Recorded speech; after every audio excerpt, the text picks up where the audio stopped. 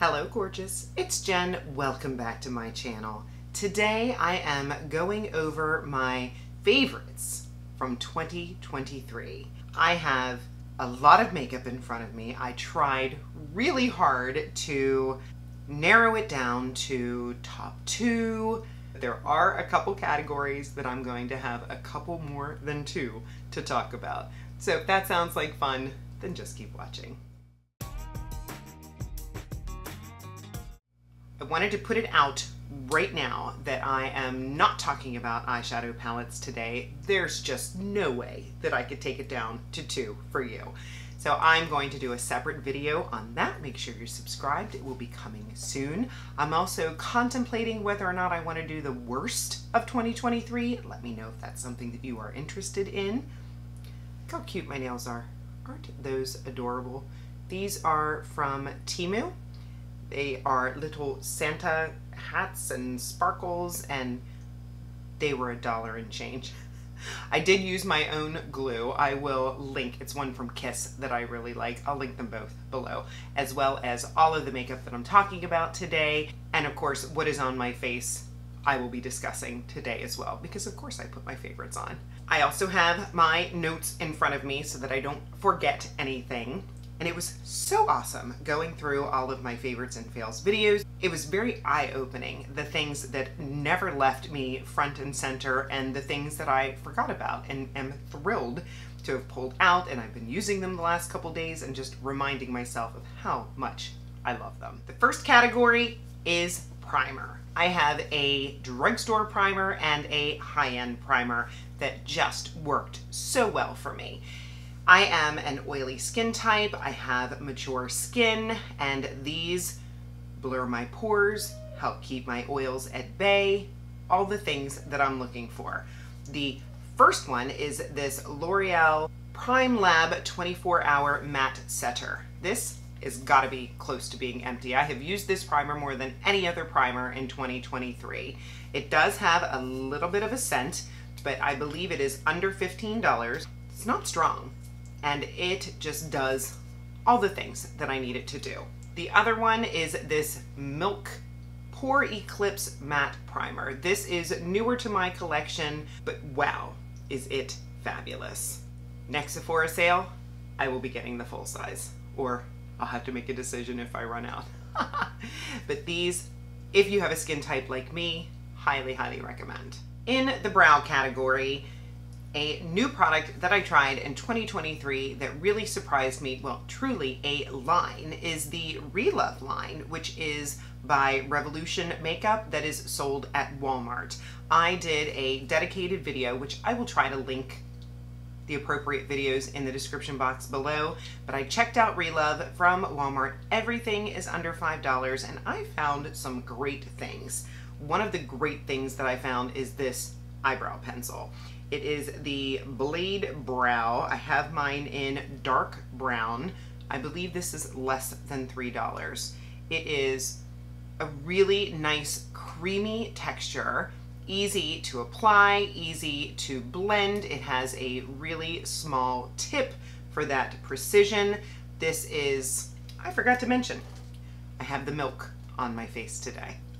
I have this Relove brow pencil in my brows today along with another product. Easy, great, would I repurchase it?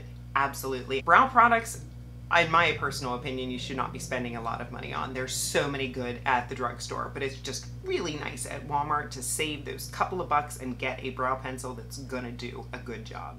In the brow gel category, I'm a huge lover of Sephora Collection. I have so many things from Sephora Collection that I love, and there's another one in here today.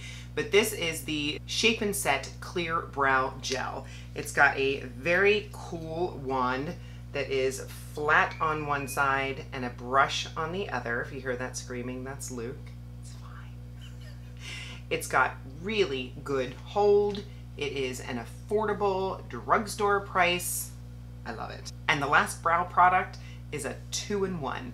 Newer to my collection, but I'm finding myself reaching for it over and over. This is the Maybelline Build-A-Brow. And this is cool because it's got the brow pen on the one side and on the other side, you have a brow gel.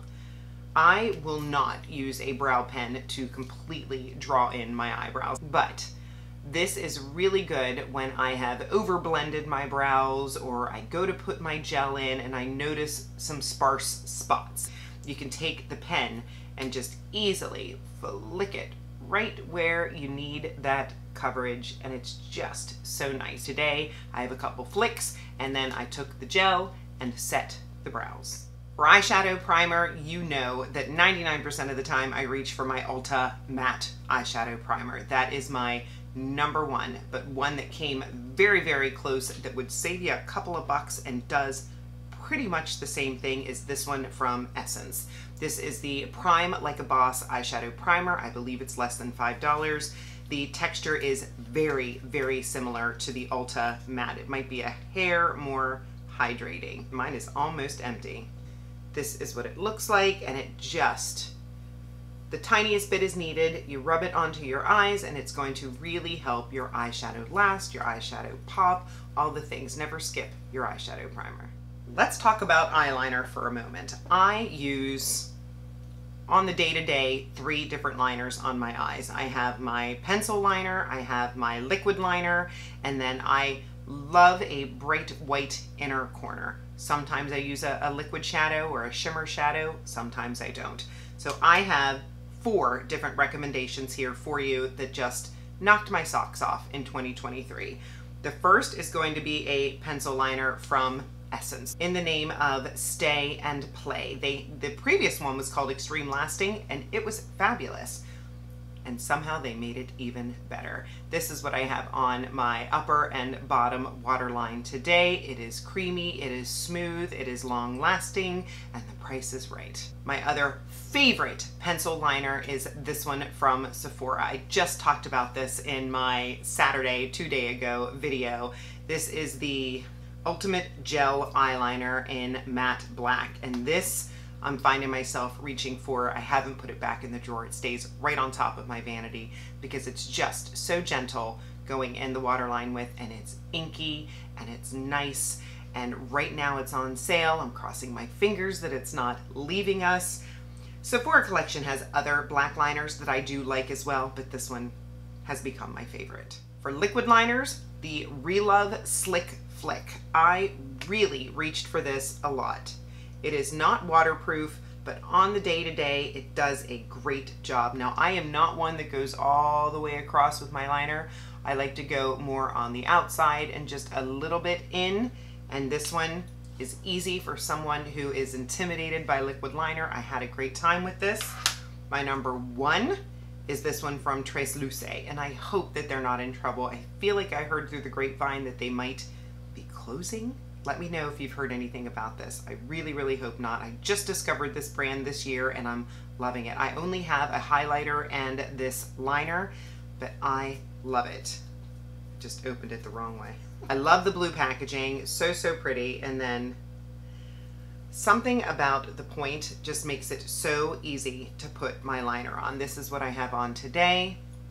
Love it. And the last liner is this one from LA Girl. This one I'm so happy that I found. I love the BH Cosmetics white pencil and it's getting harder and harder to get my hands on it. I tried a couple different white liners from the drugstore. I don't think I tried anything high-end and none of them were as good as the BH. This is the closest thing that I have found and thankfully the price is affordable. This is the LA Girl Pastel Dream Auto Eyeliner and it is in the shade Marshmallow and this is just in the corner of each of my eyes. I feel like it helps me pop. I don't like my under eyes, anything to brighten my eyes, make me look more awake, I'm game. And the last liner shout out, funny enough, is from Temu. These little glitter liquid shadows, they remind me of the old Urban Decay Space Cowboy? I can't remember the name of it, but there was a gold glitter liner that I had from Urban Decay that I loved, and I used it until there was nothing left in it. Today I have just a little bit of the silver in my inner corner, But this, it just comes out looking like a liner. I think these are a dollar and change and they have lots of different shades. I'm just a silver and gold kind of girl. So you can keep it fairly precise.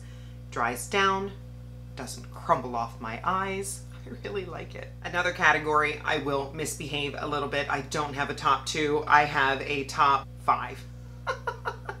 I am a mascara addict. I love trying new mascaras. A new one comes out and I want it, especially when it's drugstore. But I do have a couple high-end in here that I was able to stumble onto with a mini or got it in a BoxyCharm. Let me just tell you. The first one that I fell in love with this year was the L'Oreal Telescopic Lift. I don't have it in my stash right now. I will pop up a picture, but it has a very interesting wand, kind of like the Sephora Gel, where it's sort of flat on one side and then has bristles on the other. That one, I loved it because it was different and it just really, really, if I took my time, could build and build and build and just get the most amazing lashes. The second one is for under my eyes. That was the Milani tubing. I also do not have that in my stash, but I will tell you that mascara never dies. It is wet, so you do have to be careful. That is the one slightly negative thing about it, but at the same time, it lasts and lasts and lasts. So if you're only using it on your bottom lashes, I prefer to use tubing on my bottom because I do get a lot of smudging. It lasted a long time. It was great. I finally decluttered it just for the health of my eyes. The next one was the MAC MAC Stack. That I got a sample of and wow, that is a really special mascara. Would I run out and spend full price at the high-end cost of that? Probably not, but if I saw it on sale, ooh, I would get it super fast.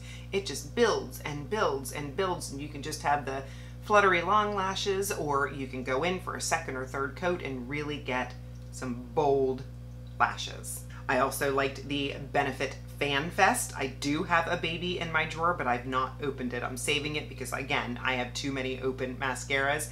I really enjoyed the first baby that I had. I had a little one, and then I got another little one in a Sephora gift set. I love it. I recommend it if you want the fluttery lashes. However, I may have to open it because the new L'Oreal Panorama mascara, I did a little short with that one, is blowing me away and really reminds me of the Benefit. Really nice fanned out mascara. I'm not going to say it's a favorite of the year because I've only had it a week or so, maybe two weeks, but it's really growing on me and I love the gold packaging. The last one which is the one on my eyes today is this one from One Size. I've had a hit and miss relationship with One Size by Patrick Starr. I've had things that I hated, I've had things that I love. This is one that I love. I got this in a set with an eyeliner, didn't love the eyeliner, love, love, love the mascara. Eyelashes today, this is one coat. I just went back and forth building one dip I never dipped back in and I feel like my lashes are super long and voluptuous and it lasts and it doesn't drop my curl. Really gorgeous mascara. And on my bottom lashes, I know this is going to be a favorite, but I really haven't had it very long, is this new one from e.l.f. I'm just mentioning it because it's what's on my face. This is the one I've been reaching for because the price is right and it does a nice job and I've had no issues with removing it or with smudging. Great job, e.l.f. Before I move on to the face, I might as well acknowledge my eyes. If you are a regular viewer of my channel, you're noticing that my eyes are blue when my eyes are not normally blue. 2023 was the year that a brand called Eyes reached out to me. They have colored contacts. You can get them without a prescription. You can get them with a prescription. You can get really wild ones that are all black or all white or cat eyes or lizard eyes, or you can just change your eye color and their prices are reasonable. They sent me some contacts. My favorites are these. I believe it's called leopard blue. And then I had another one that's a really bright blue. I wear those two the most. I think I've always coveted blue eyes. I have two sisters that both have blue eyes and I'm the one that got the brown. But I had a lot of fun with them. I'm so appreciative that they sent them to me just to let you know about them. I'm giving my honest review. I do have a discount code that I believe is still active. I'll have it linked in the description box below. Moving on to face, I'll start with the tool. I discovered the Stands Out Sponge in 2023. This is not a new product, but gosh, do I love it. I used it today. It is soft, it is squishy. I, I try to clean it as much as I can, but my skin just looks so smooth when I use it. I'm not a big sponge person. I am more of my fingers or a brush. This I want to use. I got it on sale from Amazon, I believe for Black Friday, and wow, it's great. Favorite foundations from 2023. The one that I'm wearing today, which is the Maybelline Superstay 24 Hour Skin Tint. I never thought I would like this foundation. I tried it just because of the hype. People were saying that it was long lasting. Thank you to e.l.f. because I had already tried the Halo Glow and thought, oh, wow, I can wear this. And I do like the Halo Glow, but I like this one a little bit better because with the Halo Glow, it's not quite enough to wear it on its own. If I'm having a beautiful skin day, absolutely, but I can get away with this. I have nothing else other than primer on my face. I didn't spot conceal with concealer. All I have on is this. And while it is a little shinier than I like, I just make sure that my T-zone is mattified with a primer, with the proper powders, and then that inner glow, that healthy look. I don't want to shine. I just want that healthy glow on my face and that's what this one gives. My only complaint about this one is that it is messy. Maybelline, please redo this foundation with a pump. I had to clean this before I came in here today. It was on here, it's spitting out here. This wand that comes out, this dropper, is a pain in the tuchus. But I love this foundation anyway. The other one, not new to the market, but was new to me in 2023. I tried the Revlon Color Stay. This is their long wear makeup. It comes in two different versions. You can get normal to dry or normal to, or combination to oily. Mine is combination to oily, and I have really gone through this foundation. I love it so much. I wear it more than any other foundation in my drawer, probably. Really fantastic foundation. If you have dry skin, go for the other one. Concealer is a very hard product for me. I dislike 99% of concealers, probably because I dislike my under eyes. I've been told that I have dark circles. I've been told that I don't have dark circles, that I just have shadows. I do have deep set eyes. Either way, on the daily, my under eyes always look a little too dark for me. So I like a very bright under eye. I'm also turning 50 in August, so I have some fine lines under my eyes. And I have found some good eye creams that are really helping. I have found an under eye brightener from e.l.f. that I love. This is the Putty Color Corrector Eye Brightener in the lightest shade. I love this stuff. I use it almost every day and I believe it's $6. I do have it on today. So all the help I can get for the concealers but the two that really blew me away in 2023, this is the Flower Beauty Light Illusion Concealer, and it's funny. I believe I bought this because they came out with a new one, and I was watching all these reviews about the new one, and I have not tried it yet. If you have it, let me know. I will try it. But somebody said in their video that they felt that the Light Illusion had a little more coverage. That's all I needed to hear. That and the fact that it was lightweight. Both of these foundations are super thin. I do not like a thick foundation. I do not like a thick concealer. This is nice and lightweight. It is brightening, it is smoothing, it is not drying, especially when I prep those under eyes with the proper cream, with that under eye brightener, which I know it says under eye brightener, but it's also very moisturizing. Let it set for a couple minutes and then go in with this. Less is more as we get older with our lines and wrinkles this is a great drugstore option. My fancy one that I had to try, I got pulled into the hype. Everybody was saying it was so wonderful. This Natasha Denona High Glam Concealer. I already am in love with this woman's eyeshadows. I haven't had a lot of experience with her face products, but I tried this concealer and wow, I'm glad that I did. I have this on today.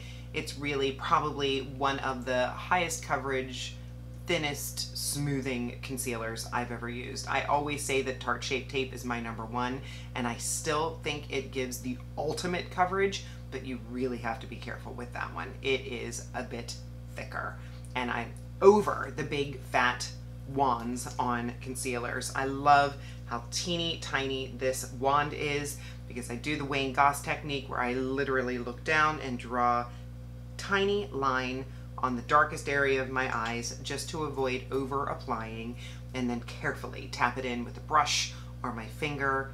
I go a little bit more into that inner crevice area in here for brightening and I love it. And then the last concealer is this one from NARS. I bought this for under my eyes.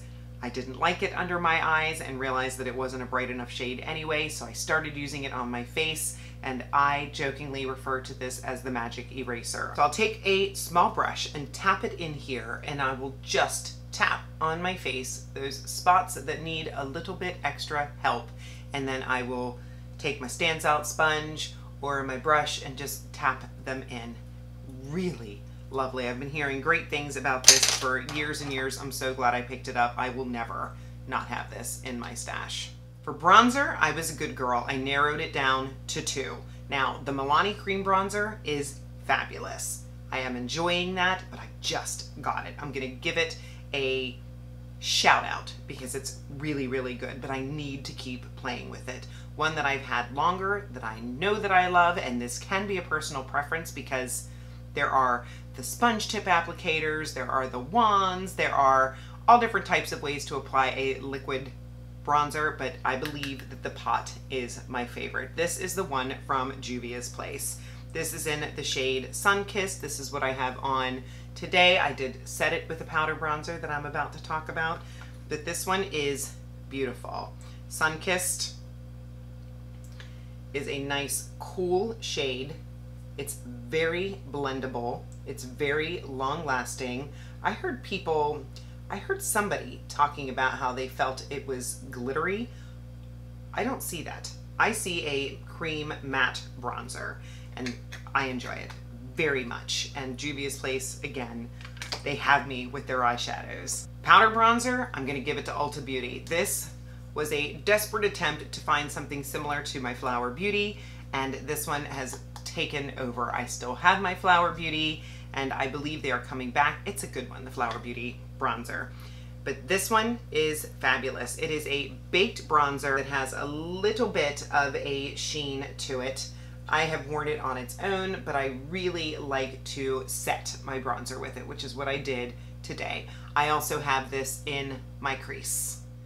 Juvia's Place is going to take the win for liquid blush as well. I love this formula of liquid blush. If you are low on funds, Find a color you love because this will probably last you the rest of your life. This is one of my favorites. This one is Blush Lily and I put the tiniest dots on my face today and oh my goodness, it just goes and goes and goes. You do have to be careful. So the teensiest dot, kind of like Rare Beauty, but I believe you get more product in this one and it might be less expensive. I'm gonna go for the Juvia's Place. I have two shades of this, adore lasts. I don't have to set it with powder blush, although I did today. Another hybrid cream to powdery, really special formula goes to Danessa Myricks. This is her Yummy Skin Blush. You know I am obsessed with her Yummy Skin Foundation, Balm, Powder, all in one. I'll pop up a picture. Love it. It was in my favorites last year. Still use it all the time. But this cream blush came out from her and it is a cream to powder. This one is rosé and brunch, kind of a warmer pink.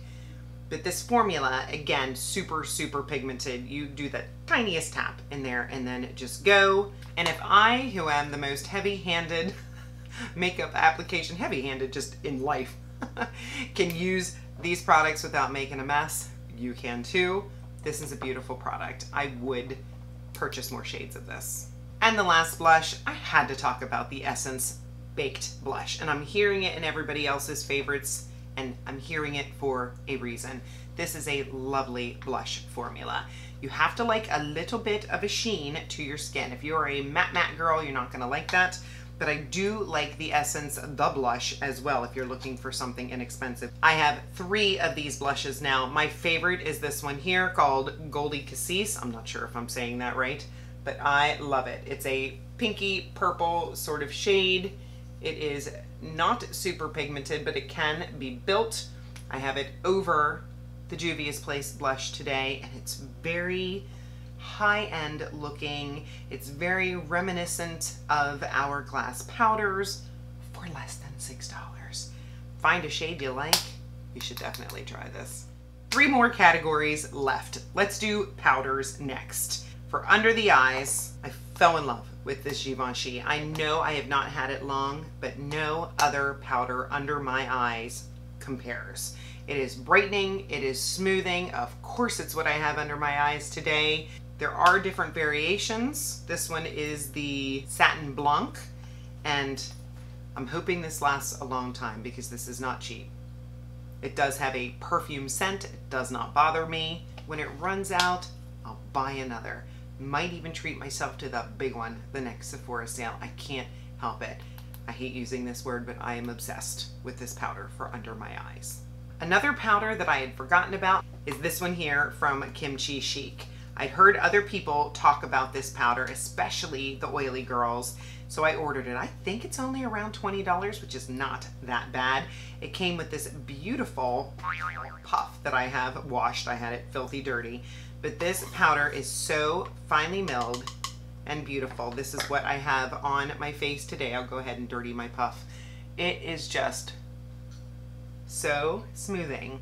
Really, really beautiful. The next powder that I really enjoyed is not new to the market, but I did a full face of LA Girl. And this LA Girl Pro Face is really nice. It has pigment to it. It's really, really smoothing. I like to use it to sort of clean up the edges. This was a big surprise to me because the price is affordable and it's a nice smoothing, mattifying powder. And the last powder that I fell in love with in 2023 is this one from Lunar Beauty. This is another one that I kept hearing all the hype. I have one palette from Lunar Beauty and I adore it. It is one of my very favorite palettes. I'll pop up a picture. So I love Manny. I tried his new lipstick formula this year. That was really nice. But this powder is beautiful. This is the Lunar Beauty Luniversal Setting Powder. I got this luckily from my BoxyCharm at a discount and it is stunning. Super smoothing, it smells good, all the things. For lip liner, my two favorites for 2023, one is newer to my collection and I just know that it's going to be a staple. I have a lot of lip liners. I have ones that I love from Essence, from Morphe. Morphe Sweet Tea I've been obsessed with for a couple of years now. And while I love that shade, it doesn't last very long on my lips. Even the new one from e.l.f. Beautiful. I love the creaminess of it. I love the shades that I got. I just wish that it lasted a little bit longer. Well, earlier in the year, I'll have to pop up a picture, I discovered the Catrice Plumping Lip Liner. I believe they're $4 and wow, they do not move, which is amazing. You do have to be careful if you go over your lip lines multiple times. It can sort of get stuck once it sets because once it sets, it sets, but it will stay so long. The end of the day, my lipstick will be worn and gone and there's that lip liner. Same can be said with this one. And the only reason I can't show you the Catrice is it's in my purse. And this one is newer to my collection, but I just knew immediately as soon as I tested the longevity and I checked out the shade that it was tippy top fave. This one is from Revlon. This is their Color Stay Longwear Lip Liner. This is nude, and this is what I have on my lips today. Highly recommend either one of those. The Catrice is less expensive than the CoverGirl, but the CoverGirl is easier to get your hands on. For lipstick, I have two. Again, one is missing, I believe, in my purse. Essence reformulated their liquid lipstick this year. The other one that they had, I had a red. I would wear it. It was very dry. I didn't care. I still liked the shade. I liked the long wearing. A drier lip doesn't bother me so much. But they reformulated it and yes, they made it so much better. I picked mine up. I believe it's in Cinnamon Spice. I'll pop up a picture. Love, love, love the shade, the formula. It's very lightweight. I mean, it does dry down, but it's nowhere near as drying as the previous formula. And it's so inexpensive love it. And the other one comes from my beloved LYS Beauty. They came out with these matte lipsticks that I just love the packaging, that I have it on there wrong. This is what it looks like. It's got like a matte pink and then a rose gold. And then this just design is so elegant going on the lips. It's just beautiful. This is what I have on my lips today. It's long lasting. I now have this shade, which is Moody. I also have the red one. And the last category is lip gloss. And the one lip gloss that I tried in 2023 that was new, that I really enjoyed and that I have on my face today is this one here. This is the Essence Juicy Bomb. I like it because it is super shiny and it tastes like mint. But look at that. I'll put a little bit more on. I just love that peppermint smell. There's no tingling, there's no burning, there's no actual plumping, but face it, lip gloss itself, when your lips are shining, they look bigger. Ooh, how could I forget my setting spray? Number one, 2023 is when I discovered it. The One Size On Till Dawn Mattifying Waterproof Setting Spray. It sells out all the time for a reason. The only negatives about this spray is that it does have a strong scent that can kind of take your breath away. Make sure that you close your eyes and you hold your breath. And I've heard some jokingly say it's like hairspray. I don't care. It makes my face matte. It helps my makeup stay. I love it. The nozzle has never let me down. I love how it dries immediately. No fans that I'm waiting for. It is best. Let me know, do you agree with my favorites? Do you have some of these products? Do you love them? Do you hate them? What were your favorite products in 2023? I would love to hear about it. If you're not subscribed, please consider subscribing before you leave. I would love to have you join me. I upload videos on Mondays and Saturdays. Give the video a thumbs up, it really helps my channel. And of course, leave me a comment. I love chatting with you in the comment section. Have a wonderful day.